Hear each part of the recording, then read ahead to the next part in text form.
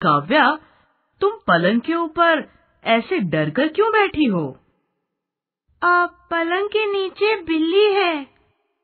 बिल्ली तो छोटी होती है और तुम तो बड़ी हो। फिर क्यों डर रही हो? ठीक है मम्मी मैं बिल्ली से नहीं डरूँगी। अब मैं ठंडा पानी पीने जा रही हूँ। बाद में गरम दूध दे देना। काव्या और उसकी मम्मी ने तो बातों बातों में उल्टे अर्थ वाले शब्द भी सिखा दिए। समझाता हूँ कैसे। नीचे का उल्टा होता है ऊपर। छोटी का उल्टा होता है बड़ी। ठंडा का उल्टा होता है गरम।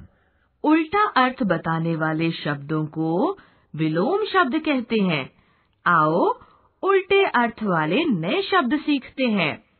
बड़ा पेड़ छोटा पौधा, मोटा बालक, पतला बालक, अंदर चूहा, बाहर कुत्ता, आगे बंदर, पीछे मदारी। ये भी सीखो। दिन, रात, राजा, रंक, अमीर, गरीब, हंसना, रोना, आना, जाना, महँगा, सस्ता।